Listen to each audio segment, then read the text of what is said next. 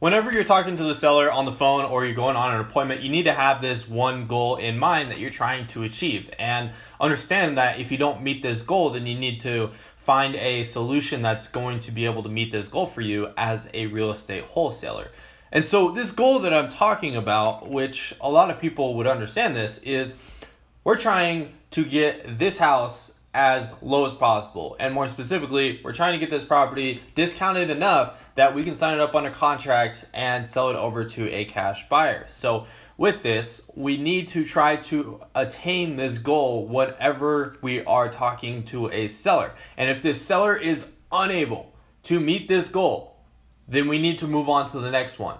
Because if we waste too much time trying to make this deal work, then this deal will never end up working out or well it's just a big waste of time. You can your time can be invested a lot better in a different direction. So this is a this is something that I think will be really great advice for those that are beginners and those that have already closed deals is kind of just like refreshing that mindset or just reinstating what you already know. So whenever you're going into a house you need to figure out how motivated they are and really dive into that section of why you're going out there and trying to sign up this deal. So, what you need to do is really dive into the motivating piece and build up um, enough rapport so that way you can get this property at as low of a price as possible. And so, the way that we do this is just talk to them and not necessarily just talk about the house, talk about life, talk about what's going on inside their life.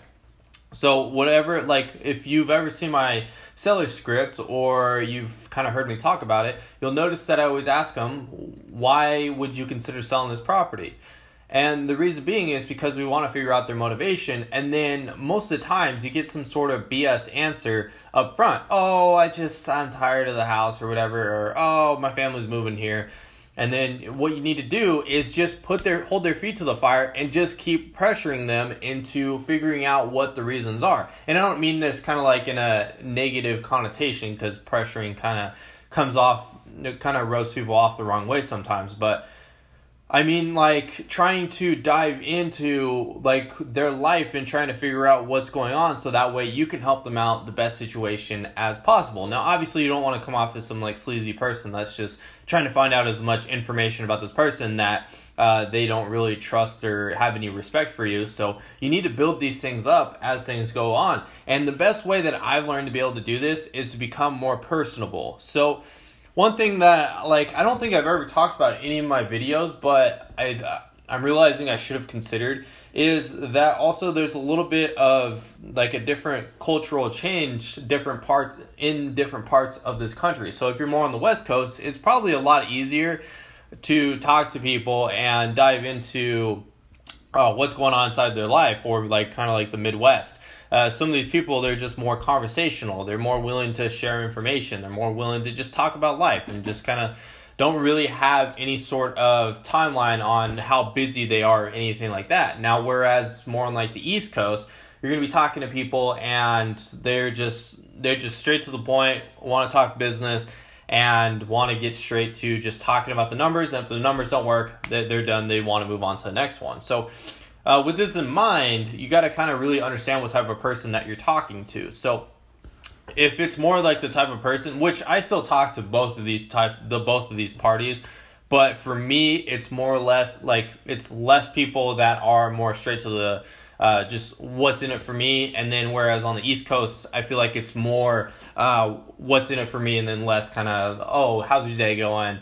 Uh, what did you do today? Just that type of general stuff. And so with this you got to keep this in mind but you got to kind of adapt to these different types of personalities and what type of person that you're talking to what type of seller are you talking to on the phone and you need to figure out the best way to kind of really dive into why they're selling their house and trying to figure that out and the best way that i do this is i just try to relate to the person as much as possible even if i have literally nothing to do with this type of like what this person does. I just try to act really interested at the minimal or try to progress the conversation and talk about uh, what they enjoy as much as possible. So I got an itch, but uh, the best way that I do this, like here's an example, I guess. So let's say this is something I know very little about. Let's say that someone's like, "Oh yeah, I do crocheting and something like that." I don't know why this piece would come up. Uh, maybe you're talking about like, "Hey, how's your day going?" They're like, "Oh, cool, I just crocheted this scarf." I don't know.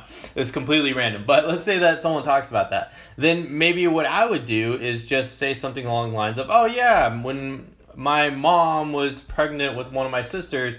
Uh, she would get into crocheting, and I thought it was really cool. She'd make a lot of beanies and all this type of stuff, and then just start talking about knitting or crocheting and even though you like literally know nothing about it just try to relate to them in any way shape or form.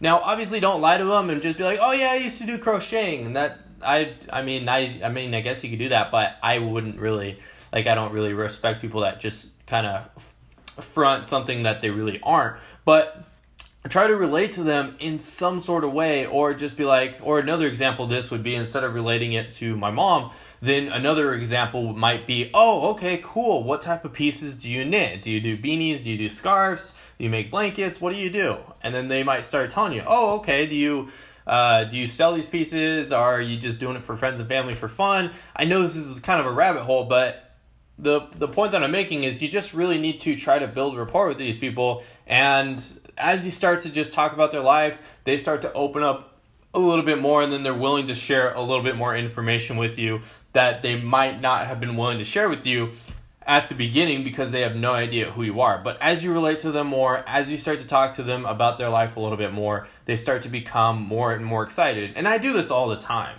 Uh, it's kind of it's kind of funny. It's just been part of my life. I've just after I've like done sales and a lot of this different stuff, I've just kind of like re- noticed that the more that I do stuff like this, the more more people are like willing to do for me or just kind of progress the relationship and be able to build things up. So maybe i like i probably even do this like with my girlfriend just different people i talk to and just act interested and be genuinely interested in it. And they just like people will start to love you. It's kind of funny. Just talk about other people and not talk about yourself and people will love you. It's kind of like a weird concept. Obviously this doesn't work nine like 100% of the time. It's probably like 95% of the time but still if you just get people to like you and you just talk about them, they're more likely to be willing to cut you a deal or be able to sell this house at a discount. So, with that in mind, as you start to build up this respect, trust, and rapport, you're able to reach that goal of getting a property at a discounted price. So that way you can make an assignment fee on this wholesale fee, wholesale deal. Anyways, that's what I got for you guys, and hope you enjoy this video. But like always, I'll see you guys all tomorrow. Peace.